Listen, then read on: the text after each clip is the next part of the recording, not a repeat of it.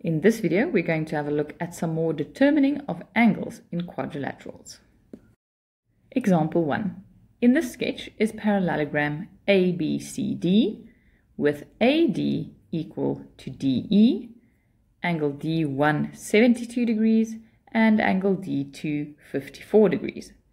Calculate the size of x, y, and z.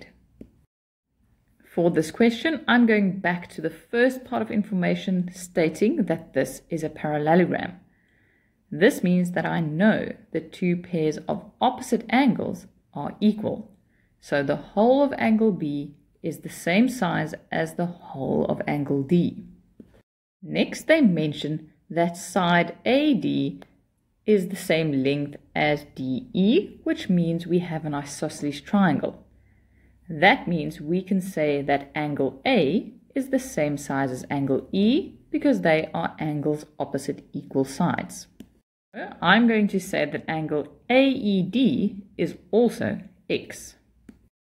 Next up, I can use triangle ADE to determine the size of x because here I know that angle A plus angle ADE plus angle D1 should equal 180 degrees because of the interior angles of a triangle.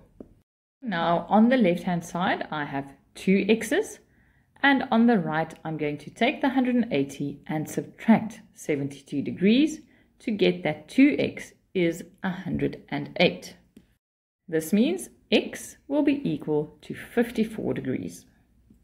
I've already mentioned that y will be the same size as angle A, which is x, and now that we know that x is 54 degrees, y will also be 54 degrees.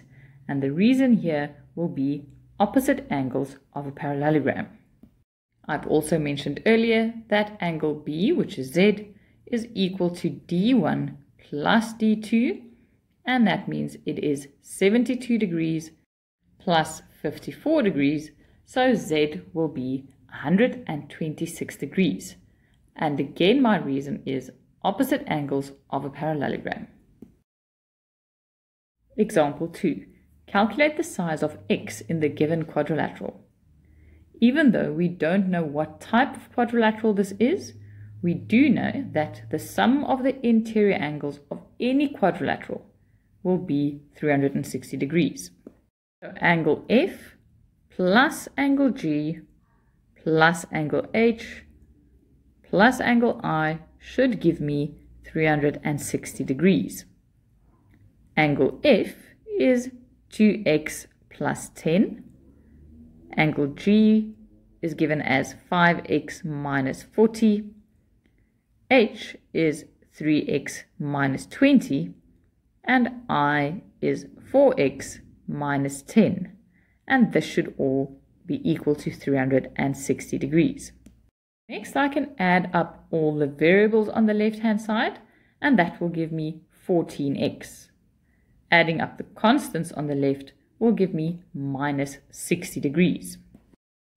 Next up, I can take the minus 60 degrees on the left and add it on the right to get 420 degrees. And once I've divided both sides by 14, x is equal to 30 degrees.